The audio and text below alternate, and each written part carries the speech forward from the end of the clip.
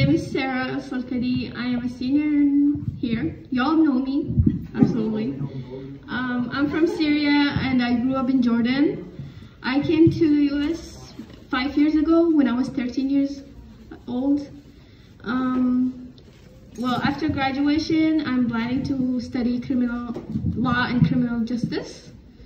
And um, well, I want to be a lawyer because I want I like helping people and solving problems. Um, I work well with people, and um, well, since day one in here, I got so much support. Before, like I come here, I came here in this school. I came, I got so much support from Mr. Spada, and he's still helping me and everyone. Y'all get so much support from him, absolutely.